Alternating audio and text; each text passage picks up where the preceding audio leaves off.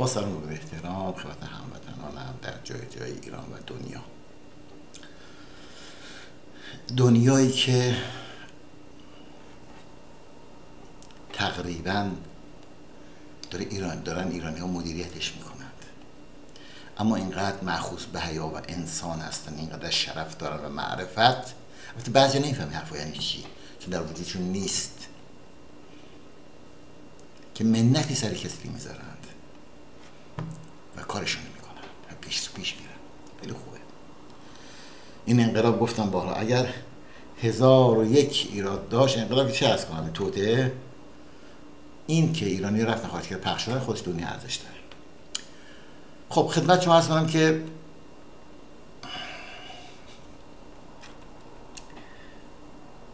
کلیپ آخری که گذاشتم سه چهار نفر نماینده مجلس یه شبای شبای به قول گرده دارند. دور هم میشینند. و حرف می‌زنند. به من میگه که آقای محمدی کجای کاری؟ خیلی عقبی. خیلی سر خبر نداری بنده خدا. گفت من خیلی سال کاراتو می‌بینم. من یک بارم خونتون با پدرم و بچه بودم. اومدم شهر کرد شما نبودی. و میشناسمت. ولی می‌خوام بهت بگم که از مسائل داخل کشور عقبی. خیلی سال نمی‌دونی. خیلی سال یا می‌دونی نمیگی ولی باید می‌دونم. چون ما همه ما روحانیت به خصوص خانواده های ما غرق غرق غرق در فسادی. همه ما. گفت فکر چرا نماینده مجلس تصدیق نکرده این مسئله رو؟ از ترس خانواده هاشون از ترس بچه هاشون گفت ما دست تک تک اعضای فامیل بچه زن خواهر برادر همه ضعف داریم. همه ما آلوده هستیم. تا خرخره آلوده هستیم. گفت اصلا نمی‌دونی فساد تو ماها چی کار می‌کنه. همیشه یاد یه حرفت میافتادم که می‌گفتی که پول حروم پول ناحق حق و ناس. حالا می‌بینم درسته. راه برگشتم نداریم. ما محکوم به نابودی هستیم. می‌دونم. ولی تو رو نمی‌دونی. تو اگر بدونی وقتی من مطلبش نوشتم. تو اگر بدونی فساد از نظر جنسی توی ما چیکار می‌کنه؟ وقتی روزی گفتی که این کرونا که تو قوم اومده از خون خفاش مار میست بله. ما پول می‌دادیم طلبای چینی واسه ما مار می آوردن فلان می آوردن خونشی می آوردن که از قوای جنسی. گفت شما نمی‌دونید چند چند صد نفر از ما روحانیون بر اثر مصرف ویاگرا سکته کردیم مردن سکته کردن مردن نمی‌دونی چند هزار از ماها آلوده به ایدز و زگیل جنسی و هپاتیت سی و کوفت زهرمان هستیم. گفت ما از حول حلیم افتادیم تو دیک. اکثر ما آلوده هستیم اکثر ما معتاد هستیم. اکثر ما سر همدیگر کلاه میذاشتیم. اکثر ما نون حروم خوردیم. مثال می‌زد. به یک زمانی من بچه بودم. یه دیمن در خونه ما پدر من خیلی صاحب نام بود. میاد اونجا بعد حاج آقا بعد من بره پدرم نماز می‌خوام بخونه فوت کرده بره مادر می‌خوام کار رو روزه بگیری می‌گفت می‌گرفت و باز اون پدر باز به کسی دیگه می‌داد براش بخونه.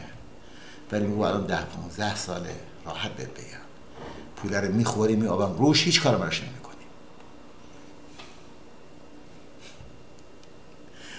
می‌گفت مثلا ما میریم بعضی جاها. نه که من من بخوام. همه ماها همه این مراجع همه اینا نیستن برای برای دریافت چی بهش میگن؟ سهم امام یه حرف یا برای یک اصطلاح خاصی داره. میریم اونجا مثلا می‌گیریم دو میلیون تومن دیگه باب شده بین ما. بعد میریم می‌رسیم دو میلیون ریال. آشه می‌خوریم میگه زندگی ماها بوی گندش دنیا رو برداشته. تو خودمون. زبون جلو زن بچه‌مون کوتاست. جلو خواهر برادرمون کوتاست. جلو مادرمون کوتاست. زبون اون فلان جامونه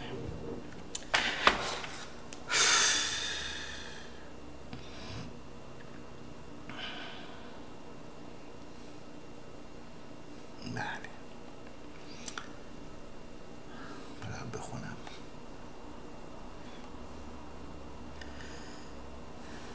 الان یک کلیپ گذاشتم.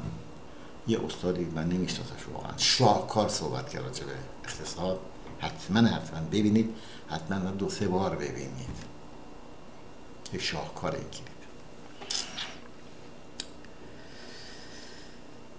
و چند خبر می‌خونم. گفت که مثلا گفت قانون که برام تصویب کردم ما چون نوشتیم ما تو قانون که دادیم به کمیسیون بدن تصویب کردیم که زیر 18 سالا کار نداشته باشید. گفت دهن ما رو زیر 18 سالا سرویس کردن. زوم بهشون نمی‌رسه. برای همین گفت زیر 18 سال نرید. چون جیگر ما رو در میارن. گفت محمدی زبون دارن 60 متر. جرأت دارن. 40 کیلو وزن 40 تن جرأت داره دل جرأت داره. گفت ما در مقابل اینا ضعیفیم نمی‌تونیم. فشار خامنه ای فلان فلان شده است. که ما میگه. ولی خب یا نیروی امنیتی سپاس که میگن. ولی نمی‌دونن که زور هیچ کس به اینا نمی‌رسه. گفت در سیانت که گفتی بله اونجا زور نرسید. بعد دست بچه هم بوده. گفت ما وقتی پدری زلیل خانوادهش به ضعف داشته باشه او خانواده فاتحش خونده است. چون خانواده جامعه کوچیکه. گفتم بله. گفت وقتی اینجوری تمام جامعه همین. جامعه ما روحانیت ما روحانیون ما سپاهیون ما بسیجی ها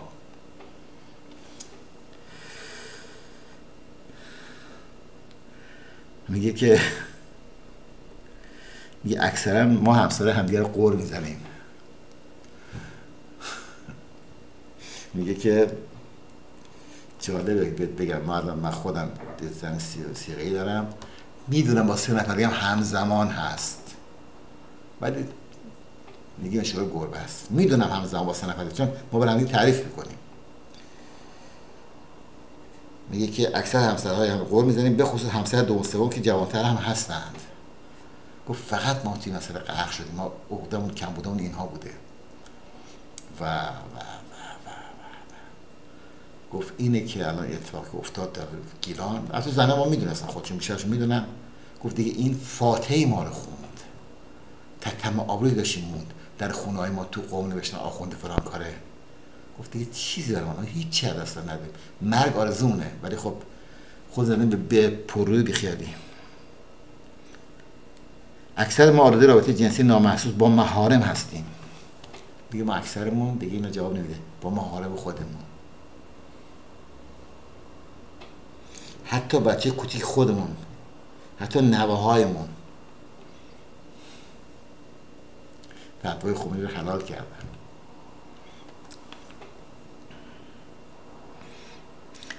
بله گفته اکثر ما رو روابط جنسی نامحسوب و محارم هستیم. حتی بچه کوچیک خودمون حتی نوه هایمون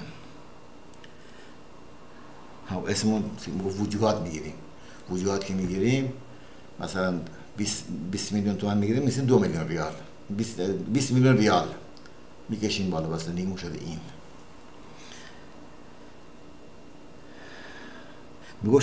من شما ماها در اساس ایران و عراق یه خانواده ایرانی پیدا کنی سخنده مذهبی میگه.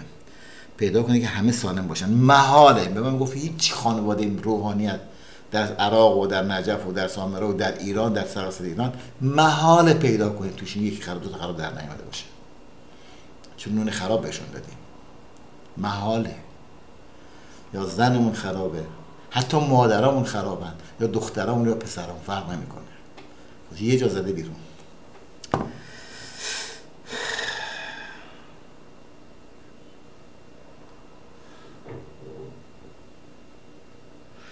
میگه آقای محمدی برادر من تو تو باغ نیستی. زن و بچه و خواهر خود ما بیشترین تعداد هستند و مادرامون تو بحث هجاب داره میگه. ما نزد خانواده ها و فامیل که یه پول شدیم و اعتباری نداریم. خانواده ما با هم در تماسند. ما آلوتر از آن که تصور کنیم. بله. خب یک دقیقه رو گفتم. گفتش که ما هر سرده حقمونه فقط خودمون زودتر بلا سرمون بیاد. خب الان شما حساب کن از این بود نگاه کن به قضیه. که مملکت رو کیا میچرخونند؟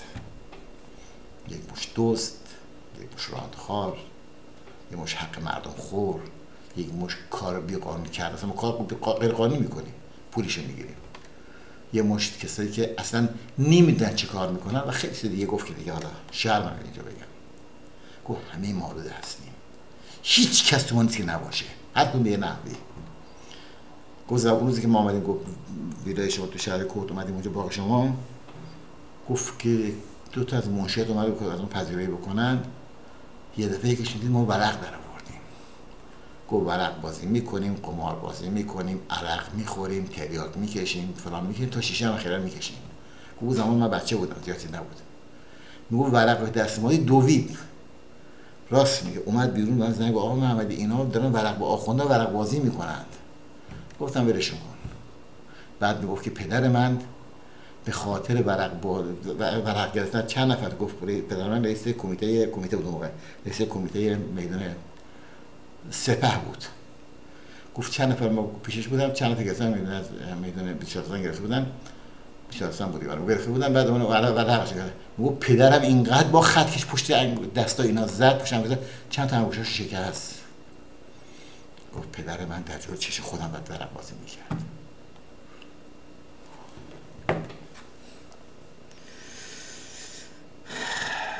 خیلی خوب. چند خبراتون بخونم. ولی کلیپ اقتصادی حتما ببینید قبل از این کلیپ گذاشتم. الان با شما صحبت ساعت ده صبح. دیدم حالم خوب گفتم کلیپ رو بذارم.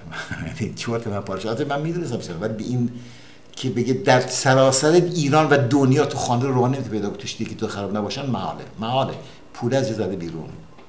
ما حق ناحق می‌کنیم. هر کاری بگی کردیم برای به پول برسیم. شرفونو فروختیم دینمونو فروختیم آبرومونو فروختیم خانواده هر چی بگی کردیم. حرفی که می‌زدیم گفتی که میرن سرچار پاشون بازم آره این کارم می‌کنیم این کار بین خودمون می‌کنیم گفت که زرداری پیش ماست. کلی هم فیلم دارم. ولی دیگه از حرف گذشته. سیر شدیم دیگه.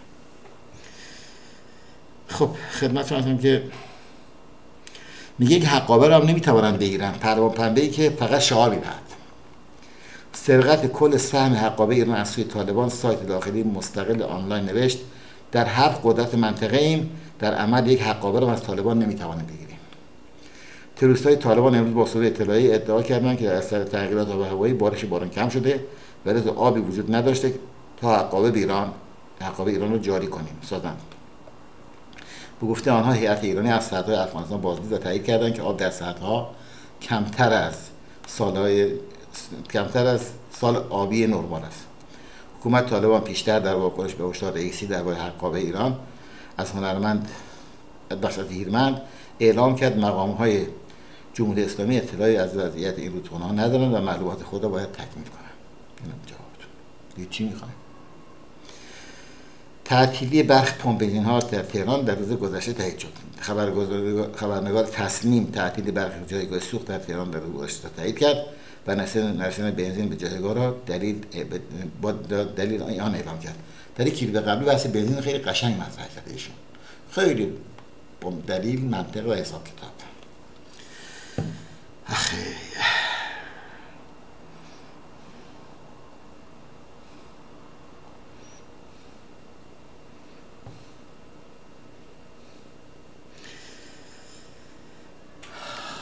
یه خانم صحبت خیلی خوبی کرده دختر.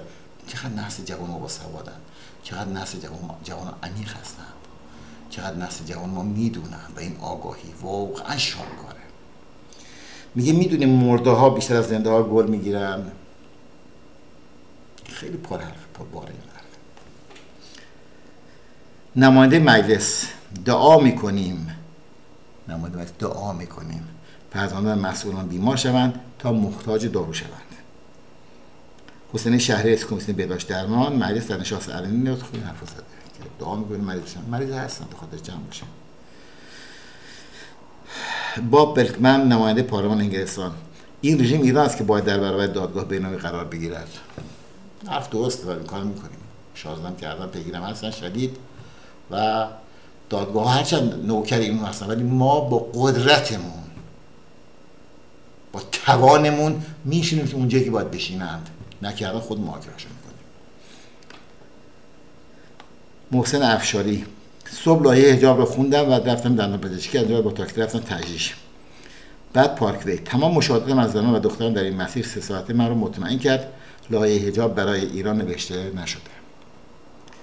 ایراد مسئولان ما اینه که با راننده تردد می‌کنن و دو قدم پیاده راه نمیرن ببینن چه خبره. بله آقای آماده فرمودن که از این روحانی گدا گدا پیش ها. جریم های حجاب اجباری صرف کمک به کمیته امداد امام خمینی می شود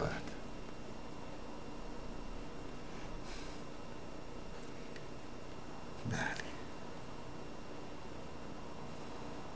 شعارها خیلی زیاد اومده ولی خب زشته نمی‌تونم بخش کنم.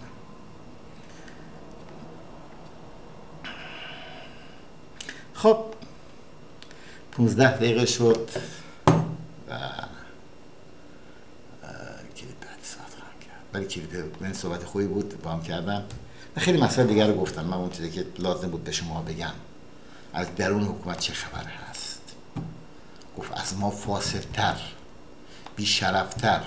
بی ناموستر کسافتتر در دنیا تاریخ نداشته نداره و نخواهد داشت. ایام.